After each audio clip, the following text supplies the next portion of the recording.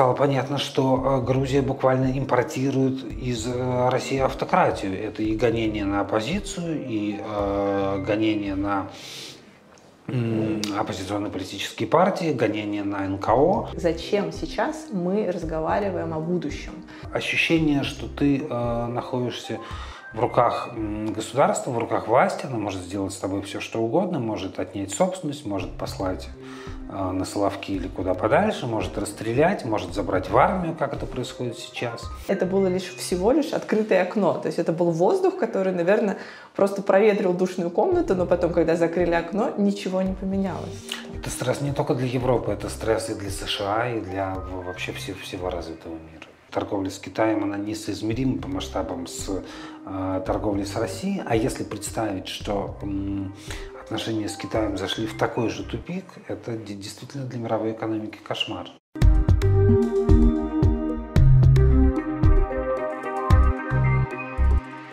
Здравствуйте, я Марина Скорикова, и мы на канале Сапера Ауде. Это проект школы гражданского просвещения. В разных форматах мы рассказываем о событиях, тенденциях и явлениях глобального мира.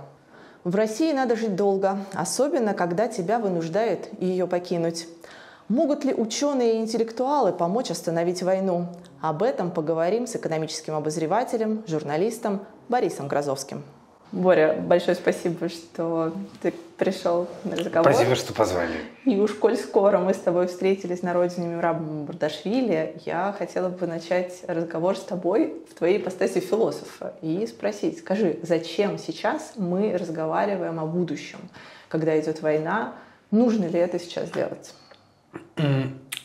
Я не знаю, нужно ли это сейчас делать. Мы э, делаем это, потому что мы э, считаем себя обязанными, считаем себя э, должными и считаем себя вправе это делать. Э, я, я не думаю, что от этого будет какая-то практическая польза. Я не думаю, что какие-то скетчи, какие-то планы реформ, которые сейчас э, рисуются, будут иметь большое практическое значение. Но во-первых, мы просто не можем остановиться. Мы занимались этим а, до, войны, и, мы продолжаем делать это сейчас. Видимо, а, просто у нас такая функция, да, думать о том, как, как улучшить социальное, социальное устройство. А я думаю, что это имеет смысл делать всегда, невозможно вообразить себе да, такое, а, такое хорошее состояние, которое невозможно еще улучшить, и наоборот такое а, совсем ужасное состояние, в котором, в котором даже думать уже а, не, не, нет смысла. Ты видишь, как пересобираются проекты. То есть те интеллектуальные площадки, те дискуссионные площадки, которые были в России, мы видим, что все закрывается официально, да, и Сахаровский центр, собственно, был одним из последних, кто держался, но его постигла эта участь. Как пересобираются эти проекты? Ведь мысль невозможно закончить, она будет длиться. А как это происходит сейчас? Площадки действительно пересобираются. Мне кажется, что в этом огромную роль играют э, наши иностранные партнеры, немецкие фонды, американские, британские и так далее, и так далее. А при, при помощи этого партнерства у ученых, у аналитиков, у организаций неправительственного сектора. А, это, кстати, а, такая ремарка, да, почему-то почему в России этот сектор называется некоммерческим. На самом деле он неправительственный, а не некоммерческий. Да? То есть тут главное а, не отсутствие стремления к прибыли, а отсутствие связи с государством, отсутствие связи с исполнительной властью. Вот. И поскольку гигантская доля этих людей э, с началом войны уехала, они просто действительно пересобирают, э, образуются новые команды, а, возникают взаимодействия с принимающими странами, это видно и по Германии, и по Грузии, и по в общем, массе, массе других стран. А, возникают новые, новые коллаборации, и ну, отчасти оживляются старые, потому что а, то, что, а, то, что мы пытались сделать в течение 2010-х годов и а, начала 20-х, процесс, который оборван был войной, сейчас он продолжается, и мне кажется, он становится более актуальным. Как ты считаешь, меняется оптика, когда ты пересекаешь границу? Насколько по-другому э, сейчас э, мы можем смотреть на то, над чем работали внутри России? Ну, сейчас, во-первых, видно, а насколько лучше видно, а насколько сильно мы отличаемся от normal countries, от, от стран, которым удалось э, разумным образом организовать свое экономическое, политическое, социальное устройство. А, мне кажется, лучше на, на расстоянии лучше видны и э, психологические проблемы, и э, социальные. Лучше, лучше видно, насколько выморочным э, является такое, такое устройство, при котором власть берет на себя функцию определять, что можно говорить, что нельзя, чем, чем можно заниматься, чем нельзя, как это нужно делать и так далее, и так далее. Что, на твой взгляд, неправильно делали? Не пытались найти язык или в чем-то в другом проблеме? Мне кажется, мы смогли найти выход э, э, только какой-то узкой части аудитории. Наверное, она ограничивается 15-20% взрослого населения. Э, вряд ли больше. Это если судить по э, аудитории независимых медиа, э, по, по читателям важнейших книжек, которые в России выходят, а, важнейших ТВ-шоу и так далее, и так далее. Почему это не получилось? Сложный, сложный очень вопрос. Где-то не хватает языка, а, где-то слишком велик разрыв между тем, к чему люди а, привыкли, образ жизни, а, ценности, на которые ориентируются. Этот раскол был, он традиционно является такой болезнью для России, да, он велик был и в XIX веке, и в XX, и мы перенесли, перенесли его за собой. Наверное, во многом это недостатки школьного образования, которое на базовом уровне закладывает а, способности людей к критическому мышлению, к этическому анализу и так далее, и так далее. Когда, когда изначально все делается неправильно, потом трудно, трудно до людей достучаться. Ну, то есть это такой колосс на глиняных ногах получился, да? То есть не хватило фундаментальных каких-то вещей. А в чем разница с normal country? То есть как бы вот где ты сейчас видишь э, вот этот вот разрыв э, фундаментальный? Главный разрыв, мне кажется, в уровне солидарности людей друг к другу, в уровне э, межличностного доверия. Оно измеряется разными способами, и как доверие к абстрактному незнакомому человеку, который является гражданином той же страны, что и я, там, жителем того же региона и так далее. И э, через участие во всевозможных группах, ассоциациях, э, клубах, товариществах и так далее – оба эти показателя, плюс еще альтруизм, готовность помогать другим, да, ну, у нас, в общем, значительно ниже. Как тебе кажется, какой процент здесь, э, ну, то, что называется условно менталитетом, но я больше как бы хотела бы называть это как культурным, историческим опытом и действие пропаганды, которая все-таки вот много-много десятков лет давила на общество? А, мне кажется, это как сообщающиеся сосуды, потому что этот самый культурно-исторический опыт, он формируется тем, как была на протяжении многих а, десятилетий или даже столетий устроено, устроено взаимодействие между властью и обществом, устроено взаимодействие между а, а, людьми друг с другом. Если на протяжении всех 70 лет существования СССР люди не могли свободно выражать свои мысли, да, Э, шепотом на кухне разговаривали про э, важные для них социально-политические э, сюжеты, да, если а, ну вот условно говоря, мои, мои бабушка и дедушка, жившие в коммунальной квартире, совершенно не, не без оснований могли опасаться доноса от людей, живущих в соседней комнате. Да, это была коммунальная квартира на три там, или четыре семьи полное отсутствие частного пространства и ощущение, что ты э, находишься в руках государства, в руках власти, она может сделать с тобой все, что угодно, может отнять собственность, может послать на Соловки или куда подальше, может расстрелять, может забрать в армию, как это происходит сейчас. Конечно, это формируется, формируется опытом, это впитывается и а, а, очевидно, это связано и с советским опытом, и э, со столетиями самодержавия, когда, в общем, тоже человек себе не принадлежал, даже у а, дворянства какие-то права появились только, э, только в XVIII веке. В общем, бесправие и э, опыт произвола, который переходил, переходил, переходил. Я не думаю, что это менталитет, но изменить вот те традиции, привычки, навыки, которые сформировались просто для того, чтобы человек в этих условиях мог выжить, да, а, а выжить значит приспосабливаться, мимикрировать, подлаживаться под а, то, что государство считает правильным, избегать а, того, что оно считает неправильным. Человек вообще существо, которое откликается на стимулы и негативные, и позитивные. Да? Соответственно, это приспособление шло все время пол, полным ходом. А на это уйдет очень много времени.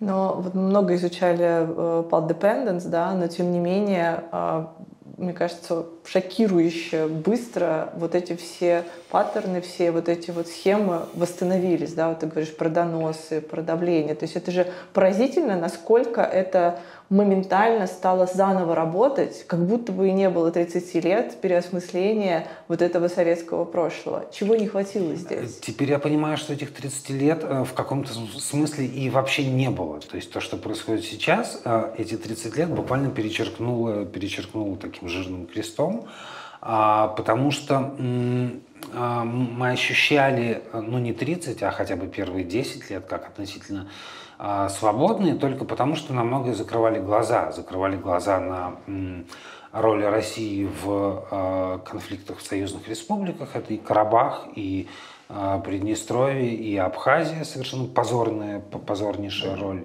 Дальше две чеченские войны. То есть это насилие, оно никуда не ушло, оно просто было локализовано. И мы существовали достаточно свободно в своем мире кто-то говорит, что это мир э, двух столиц, Москва, Петербург, да, плюс несколько крупных городов. Кто-то говорит, что это вообще, э, так сказать, мир внутри Садового кольца. Не, не замечая того, что в то же самое время а, те же самые люди буквально на большом постсоветском пространстве сеют э, ложь, пропаганду, убийство и так далее, а дальше силе, ну и так далее. Кстати, да, ведь э, сейчас э, принято сравнивать э, войну в Украине с конвенциональной войной Второй мировой, но на самом деле была Чечня. И, собственно, все, что сейчас происходит по уровню жестокости, это все же было в Чечне, но, как ты правильно сказал, это все как бы вот почему-то нивелировался тот опыт. То есть, может быть, за счет того, что в 90-е мы получили очень-очень много какой-то новой информации, и она была такой вот как бы сублимацией как будто что-то происходит, но на самом деле это было лишь всего лишь открытое окно, то есть это был воздух, который, наверное, просто проветрил душную комнату, но потом, когда закрыли окно, ничего не поменялось. Я думаю, что да, ровно так. Схожесть э, методов, которыми ведется сейчас война в Украине и э, чеченских войн, очень хорошо показал Александр Черкасов из «Мемориала» и товарищи соавторы, которые выпустили прекрасный большой доклад на эту тему а, относительно недавно. Вот. А мы, действительно могли этого не замечать, а, а, как, как и не замечать многих других важных вещей. Например, того, что э, один из двух стержней советской системы, собственно, спецслужбы, да, э, наряду с коммунистической идеологией, не менее важный стержень, ни, ни, никуда не девался. Люди, которые в середине 90-х указывали на то, что это так, а, казались, ну и, и чуть позже, во второй половине 90-х, казались, а, казались маргиналами, казались какими-то а, людьми неоправданно сфокусированными на том, что важно было раньше, а сейчас уже нет, мы куда-то ушли. Вот у нас, э, не знаю, Норильский никель вышел на биржу, а вот у нас частные компании, частные издательства, частные а, клубы. Музыкальное телевидение, то есть это тоже все как бы было такими, да. Да, как, как, казалось, казалось, что это уже не важно, а оказалось, что нет. Вот как раз они смотрели в, в правильную точку и видели, что ничего, ничего не произошло на самом деле. Про то, где мы были 30 лет, а, сейчас у нас э, в оптике Украина, и мы видим, насколько разнятся общество украинское и российское, и как мне кажется, одной из важных э, отличительных черт э, это то, что в Украине в эти 30 лет была проведена работа с исторической памятью. И в частности, ты упомянул мемориал, собственно, были открыты архивы, и поэтому было переосмысление э, того прошлого советского, которое было. Как тебе кажется, насколько здесь велика вот роль этой работы? Архивное знание, безусловно, очень важно, как вообще работа с исторической памятью, работа с э, преступлениями, которые совершились в прошлом и а, характеризовались системной безнаказанностью, то есть поощрялись государством и, в принципе, не могли быть тогда а, не, не расследованы, не, не наказаны, не, не могло быть компенсации жертвам преступлений и возмездия преступникам. Но я думаю, что главное, что, что обеспечило разный уровень э, солидарности, вообще разный уровень социальной зрелости, так сказать, украинского общества и российского, это все-таки национальное самосознание. Им было от чего отстраиваться. Украина постепенно, очень постепенно, очень болезненно вот за эти постсоветские годы вырастала как национальное государство. Отчасти э, и, и, и вот эта, так сказать, точка, в которой а, правы а, русские пропагандисты, она вырастала как антироссия, а, собственно, на контрасте да, с, этим, а, с этим образом большого северного соседа, от которого она культурно, а, поведенчески и так далее отделяется. И ей было от чего отстраиваться. В России национальное государство не сформировалось до сих пор. А, Россия это империя, а не, не, не национальное государство. Различия между а, этносами, между приверженцами разных религий, разных идеологий и так далее, безумно велики. Вот этот цементирующий клей, он как бы не, не сложился еще. Я думаю, что это дальше будет очень болезненно все развиваться. Но ведь Россия и не может выстраиваться как национальное государство, потому что Россия — это многонациональное государство. То есть здесь как бы проблема в том, что путь, наверное, федерализации, или как, вот, как, как тебе кажется, от чего, где может быть а, опорно, если мы говорим про какое-то обозримое будущее, где может быть вот эта вот точка, от которой может отталкиваться, где свести эту историю? Есть хорошие сценарии, есть плохие, есть этнический национализм, есть э, гражданский, как, как в США, попытки, э, попытки выстроить из россиян гражданскую нацию, они предпринимались и а, в 90-х годах при, при Ельцине. Успешными они не были.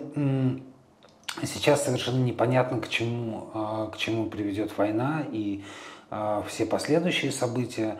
Мы видим, что регионы очень сильно отличаются и по уровню благосостояния, и по тому, насколько активно власть привлекает, мобилизует жителей разных регионов к участию в этой войне, а, поэтому совершенно не, исключено, что а, на противоходе, на, противодействии вот этому движению будут, а, будет формироваться национальное самосознание в республиках. Та работа, которую вел мемориал, например, та работа, которую вел Сахаровский центр, насколько она важна будет в будущем? То есть сейчас важно это все не растерять, потому что ведь это тоже огромная, огромная часть э, переосмысленной истории. Как с этим можно будет работать? Ну, э, и, и мемориал, Сахаровский центр э, в новых своих ипостасях пытаются продолжать, как и школа гражданского просвещения. А, мне кажется, что размышления о прошлом, о, об ошибках и о преступлениях, совершенных в прошлом для всех этих организаций логически переросло в сопротивление а, как бы репликам того же самого, а, который совершается в настоящем. Мемориал вполне логично перешел от э, памяти о прошлых преступлениях к правозащите э, про, против похожих преступлений, которые совершаются, которые совершаются в настоящем. Поэтому и правозащита и э, документирование преступлений, конечно, это очень важно. Э, совершенно невозможно построить построить систему, в которой будет верховенство права, если прошлые преступления не, не наказаны. А сейчас мы имеем дело с большим количеством преступлений, которые, в принципе, не могут быть при текущем политическом режиме расследованы, начиная с самого факта узурпации власти. Мы в школе много говорили о глобальной гражданственности. Вот это э, понятие, эта структура, каково ее будущее сейчас? Мы вообще можем где-то теперь говорить про глобальную гражданственность? Ведь потому что война э, нынешняя, она повлияла на весь мир. Мы видим, что это не только конфликт э, двух стран, это такие вот э, круги по воде, которые коснулись всех. Как это теперь будет отстраиваться?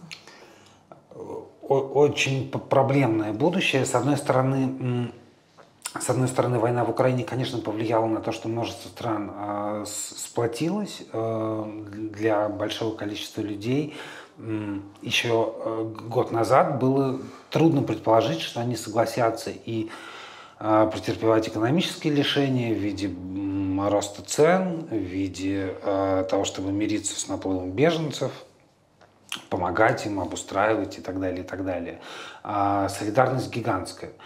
Насколько ее хватит, совершенно, э, э, совершенно сложно сказать. Кстати, я думаю, что основная функция, которую, э, которую российские неправительственные организации, российские ученые, синтенки и так далее сейчас делают, находясь за рубежом, это не что-то там такое понять э, про, про будущее, про то, как организовать Россию и так далее, а э, про то, чтобы служить набатом для м, правительств тех стран, которые помогают Украине, э, и для тех обществ, которые помогают Украине. Постоянно говорить о том, что нельзя останавливаться, что борьба происходит буквально там, что борьба происходит буквально на линии фронта, что э, разговоры про то, что мы можем помогать Украине еще 3-4 месяца, еще полгода, а потом уже наших сил не хватит. А, так что давайте как-нибудь справляйтесь сами, давайте а, значит, соглашение о прекращении огня или что-нибудь э, такое. Это все плохие варианты, очень важная функция а, россиян за рубежом. Мне кажется, как раз сейчас говорить об этом. Здесь тоже такой парадокс, на мой взгляд, сложился. То есть, с одной стороны, в Европе э, есть как бы, да, христианские ценности, европейские ценности, конвенция и институциализация, но с другой стороны Европа настолько привыкла жить в мире, что сейчас вот эта вот э, ситуация, она стресс. И поэтому мы видим это, собственно, и потому, как страны неохотно включаются именно в милитаризацию, неохотно наращивают э, бюджеты военные, потому что не хотят э, погружаться в это. А как ты думаешь, есть здесь угроза вот для, для тех европейских ценностей, которые сложились после Второй мировой войны? Что будет с европейскими институтами? Какие риски для них есть? А, я думаю, что, во-первых, есть э, большой риск формирования того, что американские аналитики давно называют осью зла. Да? Ну, представим себе э, такую гипотетическую ситуацию, когда Россия продолжает э, атаковать Украину, а Иран, который очень близок к тому, чтобы обзавестись ядерным оружием, тогда обогащение урана идет, э, теперь Россия еще активно в этом помогает. А Иран, у которого в доктрине Израиль это враг номер один, э, значит, нападает на Израиль. А Китай отвоевывает Тайвань, как он это давно планирует. И, например, Северная Корея решает воссоединиться с Южной путем а, значит, атаки с севера на юг. Едва ли, а, едва ли вот в данный момент а, Штаты и Европа, и их союзники в разных частях мира к такому сценарию готовы. Он вполне реален. Мирный дивиденд – это вот время между, между окончанием Второй мировой войны и, по сути дела, 2022 годом, когда военные расходы у большинства стран постепенно снижались в процентах ВВП, и это позволило и увеличить э, расходы на здравоохранение, и вложиться в инфраструктуру и так далее, и так далее. Весь этот период э, благоденствия, когда военные расходы снизились в разы, там где-то в 6-8 раз. А, а, конечно, это замечательно, конечно, это дало большой спорт, э, большой подъем экономики. Но сейчас понятно, что это время позади, и э, хотя ужасно не хочется втягиваться в новый э, какой-то этап противостояния, наверное, это придется делать. То есть предстоит все равно выход, да, вот этот банальный выход из зоны комфорта. Потому что Европа как раз сейчас, это понимаешь, что основной стресс — это выход вот за пределы вот этого накопленного багажа мирной жизни, приходится все равно так или иначе участвовать в этом. Это стресс не только для Европы, это стресс и для США, и для вообще всего, всего развитого мира. А каковы угрозы милитаризации всеобщего? Ту картину, которую ты нарисовал, она как раз связана с удерживанием границ. То есть это как раз э, о такой глобальной, о большой войне, причем войне не стремительной, а затяжной. Борьбы не за ценности, а за интересы. Вот какова перспектива того, что европейское пространство, ну и, собственно, э, все, что связано с большими игроками, там, как США, Китай, втянется вот этот милитаризованный процесс? Я, кстати, не думаю, что это война э, за интересы, а не за ценности. Как раз э, ценностная граница тут пролегает очень четко. Э, если смотреть на э, исследования Рональда Инглхарта, Кристиана Вельцеля, а, и так далее. Вот это вот всемирное исследование ценностей, европейский социальный барометр.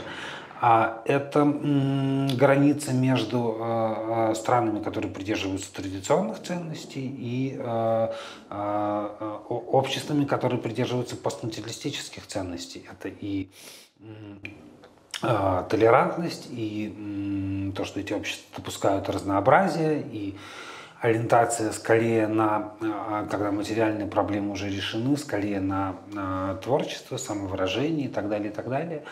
А, эта граница видна. Большой вопрос, где а, в этой ситуации окажется Южная Америка, где окажется Турция, где окажется, где окажутся страны Персидского залива, где окажется Индия. С одной стороны, есть страны, которые куда-то забежали вперед в, в плане того, как они а, сами организованы и что бы они хотели видеть у других, и общество, которое к этому не готовы. А что мы можем сделать для того, чтобы помочь э, понять, что Россия, в общем-то, э, стоит на пути к европейским ценностям? Потому что, вот мне кажется, что в разговоре о фундаментальных каких-то базовых вот этих вот интересах э, именно цен, ценностных э, пропаганда работает с созданием симулякров про традиционные какие-то отличные от европейских ценностей. Как здесь с этим можно работать? А, честно говоря, я не очень верю в всесилие пропаганды. Мне кажется, что скорее тут корень в том, что, а, во-первых, во-первых, а, за 30 постсоветских лет в России не сложилась конкурентная экономика, то есть государство осталось основным работодателем, либо государственные компании, либо компании, связанные с государством. Когда у тебя государство прямо или косвенно а, а основной кормилец, естественно, ты как-то свои а, взгляды, свои ценности подчиняешь тому, что оно хотело бы от тебя видеть. Не сложилось самостоятельных игроков. Вот то, что в Европе возникло еще в средние века, когда Города начали играть такую роль. Городское право, городская самостоятельность и так далее. Не сложилось отдельных, независимых от государства игроков, которые могли бы, могли бы отстаивать свои, а, а, свои интересы. Это могут быть профессиональные союзы, это могут быть э, сильные регионы, это могут быть политические партии и так далее, и так далее. А люди были зависимы, и люди остались зависимы. Мне кажется, что это основной момент. И, и, и вторая, вторая вещь – это то, что у людей, по сути дела, у, у большинства людей нету какой-то такой автономной, э, ценностной, автономной этической системы. А что хорошо, что плохо, как правильно поступать, как неправильно поступать. Они в этом готовы, готовы довериться кому-то знающему. Кто-то знающий – это а, а, тот, у кого есть доступ к телевидению, или это руководитель страны, и так далее, и так далее. То есть и, и это, собственно, опять такая советская и э, постсоветская традиция, когда э, людей не учили этическому анализу. Религия очень слаба, как крайне слаба, да, и, э, во-первых, не дает э, каких-то автономных нормативных и, нормативных идеалов, и, во-вторых, сама рада подстроиться под государство в лице, в лице РПЦ. В общем, нету, а, а, нету автономных, автономных этических систем, которые, опираясь на которые а, люди могли бы, люди и группы людей могли бы строить самостоятельные, самостоятельную траекторию своего движения. Это вот опять мы возвращаемся к тому, о чем мы говорим на школе, да, это общество граждан и общество подданных. То есть это вот два конечно, как бы абсолютно конечно. взаимоисключающих конечно, вектора развития. Конечно и отсутствие критического мышления и возможность, да, где ты это видел? Я это видел в интернете. И вот это вот как бы такое вот категориальное а, вес критическое, оно, конечно, большие проблемы создает.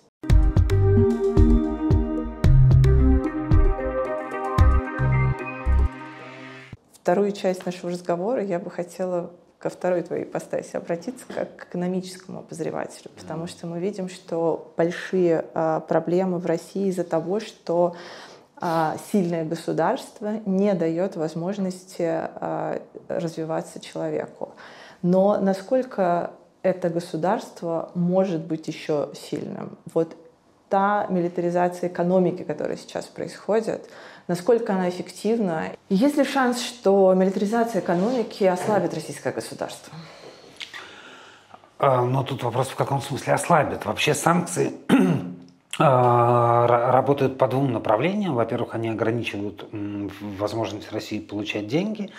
А, мы видим, что в этом отношении санкции работают не слишком хорошо, потому что те, те сырьевые товары, которые Россия производит, они мировому рынку нужны, их невозможно с мирового рынка убрать так, чтобы при этом не произошло большого роста цен. А, соответственно, если нельзя нефть продавать в Европу, а, покупателем нефти охотно становится Индия, охотно становится Турция. Газ будет дальше перенаправляться в Китай, просто это требует больше времени построить новые газопроводы и так далее. Убрать, э, убрать э, полностью с мирового рынка другие сырьевые товары, типа уголь, э, никель, там, не говоря уже о редкоземельных металлах, это все как бы сложно, сложно очень сделать, да, сложно, сложно заменить, потому что рынки все время находятся в балансе. Да. А вот. А вторая часть санкций более важная, которая затрагивает того, чтобы э, затрагивает то, чтобы в Россию не поступали э, технологические товары, чтобы не поступали э, комплектующие, оборудование, электроника, которая используется для производства вооружений. В этой части санкции работают намного лучше. Хотя, а, во-первых, сейчас а, мы видим, что есть некоторое количество европейских фирм, которые совершенно несмотря ни на что продолжают спокойно поставлять в Россию электронику. А, совсем недавно об этом расследовании важных историй появилось.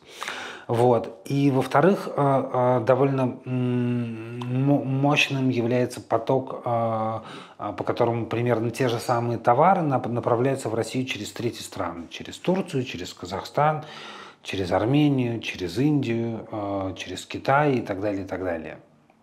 Сейчас Штаты и Европа пытаются это все дело остановить путем, путем вторичных санкций. Да? Насколько, насколько это получится, вопрос. А теперь про, про милитаризацию. Э, пока она заключается в основном в том, в том что, во-первых, все больше доля бюджетных расходов направляется на э, финансирование производства вооружений, на выплаты военнослужащим и так далее, и так далее. И, во-вторых, через то, что вот эти предприятия ВПК, которые сейчас завалены заказами, работают уже не в одну смену, а в три, предъявляют гигантский спрос на рабочую силу у всех у каждого крупного а, предприятия ВПК сейчас по, несколько тысяч вакансий, они задирают зарплаты, а, все равно не могут найти людей и так далее, и так далее. Это большая проблема. Они перегружены, а, перегружены заказами, работают круглосуточно, и понятно, что на самом деле экономики прока от этого никакого, но заводы работают, зарплаты людям выплачиваются, так что пока, пока эта машинка вполне может таким образом действовать. А санкциями, в принципе, невозможно убить э, большую экономику. Да? Это, в общем, даже маленькую невозможно убить. А, можно сделать ее беднее. Тот же самый Иран, сколько э, находится под санкциями, или Северная Корея. А, конечно, они лишаются важных технологий, они лишаются возможности э, покупать товары, которые, которые у них легко были бы. Но а, вот на этом более низком уровне а, экономика как-то приспосабливается и вполне себе функционирует. Более того, они же еще и адаптируются. То есть это такая школа жизни, да, как Иран, который вот мы сейчас вам расскажем, как э, нужно приспосабливаться к санкциям, потому что мы уже много лет этим занимаемся. То есть это тоже такая большая, большая трагедия, что это просто как бы вот э, такое медленная, как бы, да, медленная адаптация. И вообще создается ощущение, что Россия такая достаточно бездонная в этом плане страна, потому что огромное количество людей со сверхдоходами, и сейчас там есть э, такое уже раскулачивание, и эти деньги, они просто как бы из воздуха обратно появляются. То есть вот что с этим делать, совершенно непонятно. В таком режиме страна может существовать достаточно долго. Еще один железный занавес, э, еще один запрет э, ну, в какой-то более мягкой форме, да, пожалуйста, вы можете ездить в Эмираты, пожалуйста, Грузия открыта, а, пожалуйста, э, туризм в Китай а, и так далее, и так далее.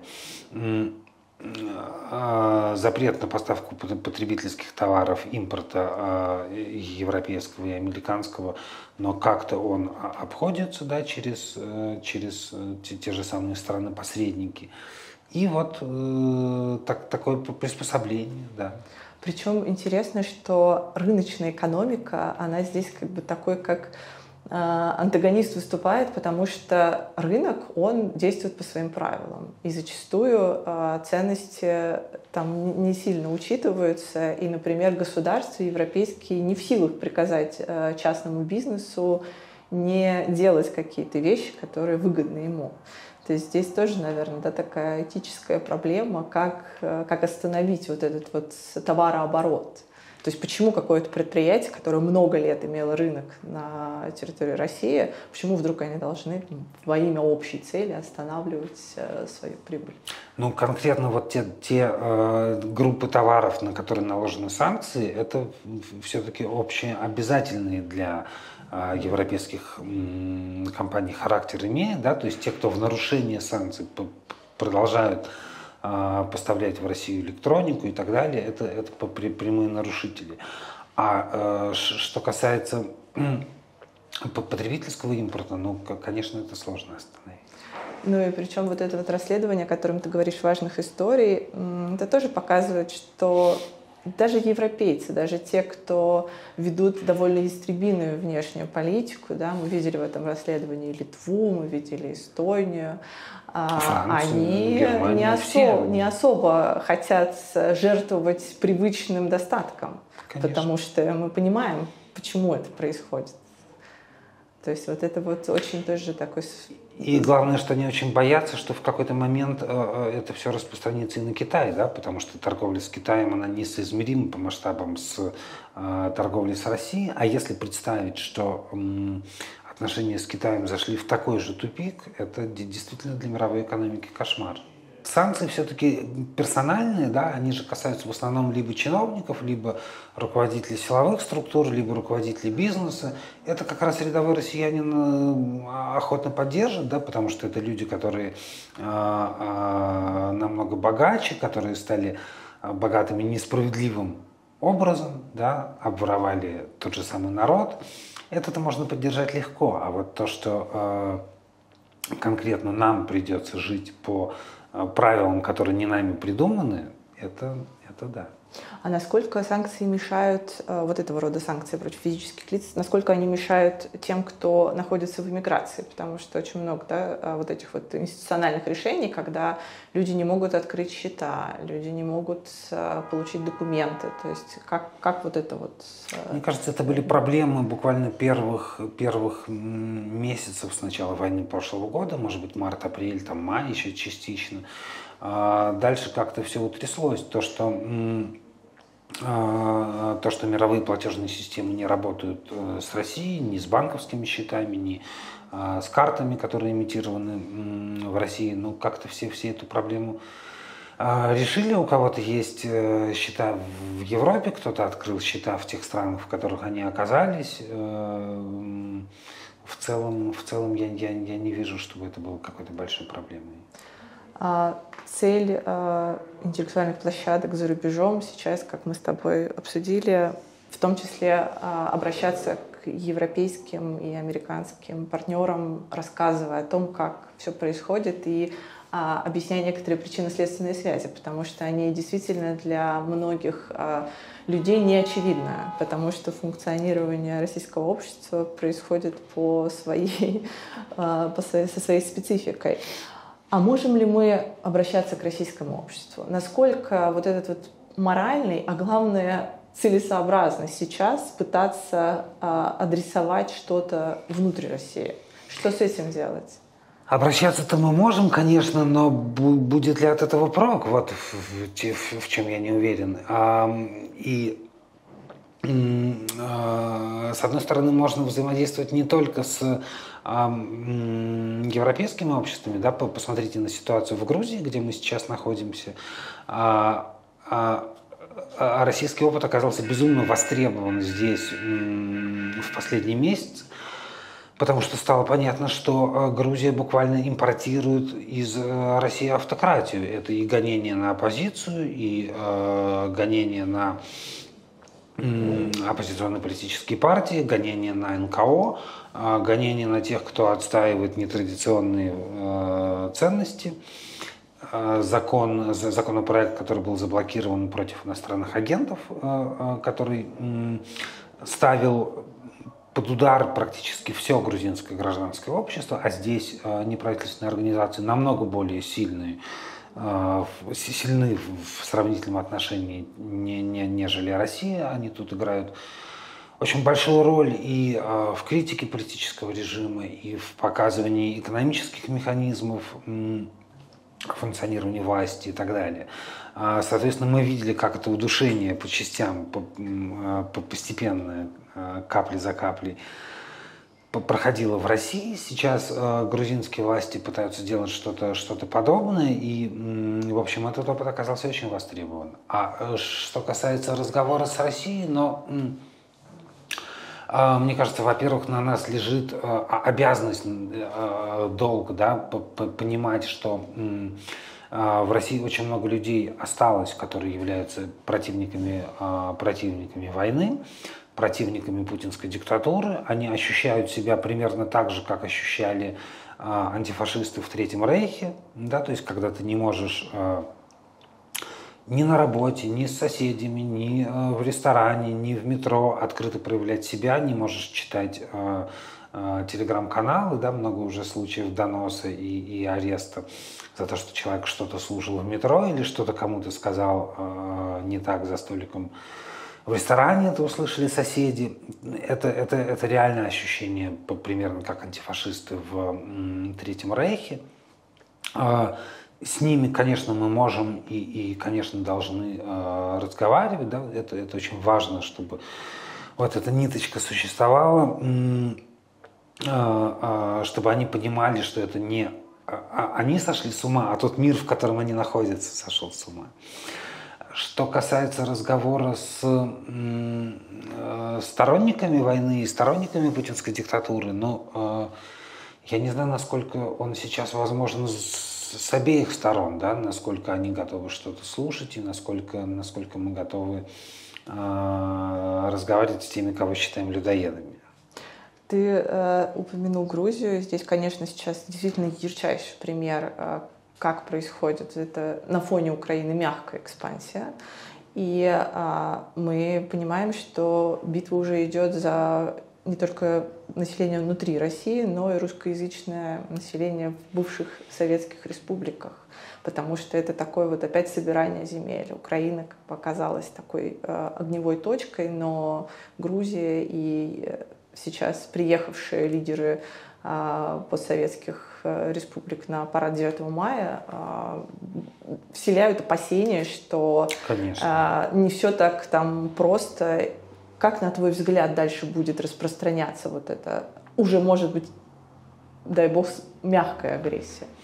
Мне кажется, опять же, все будет решаться э, на фронте, если, э, если Украина и союзники позволят, э, позволят э, как бы Кремлю выйти сухим из воды через, в той или иной форме, через мирное соглашение, через э, э, возможность дальше накапливать силы для какого-то нового удара, который может быть где угодно, может быть в Северном Казахстане, может быть в Балтийских странах, может быть в Грузии, может быть в по Приднестровье, Молдавия и пошли дальше, а, тогда да, если, а, если война будет заканчиваться каким-то другим сценарием, который, а, который приведет к росту у элит недовольству Кремлем, каким-то элементом, может быть, даже гражданской войны в России, это уже другие совершенно сценарии. Ты больше оптимист или пессимист э, в этом направлении? Ну, а, я, наверное, пессимист в том плане, что а, понимаю, что а, между смертью Сталина и началом перестройки сколько прошло? 32-33 года. И вот какой-то такой сценарий мягкой постепенной трансформации режима, мне кажется, более реальным, нежели нежели э, его революционные преобразования или что-то похожее на то, что было в Германии после Второй мировой войны. То есть я скорее думаю, что на смену Путину могут прийти какие-то вот люди в чем-то выполняющие похожую функцию на функцию Хрущева, Суслова, Брежнева и, и, и так далее, которые будут делать российский империализм более мягким, менее агрессивным по отношению к внешнему миру, но я не думаю, что они э, настолько легко уступят э, командные высоты, уступят контроль за природной рентой, контроль за э, населением, контроль за территориями и так далее, и так далее. Будет какая-то серия, серия э, разменов, в результате которого Россия, да, станет более приемлемо для окружающих его стран, по крайней мере, я на это надеюсь. Но э, я думаю, что, что, скорее всего, элитам удастся удержать контроль.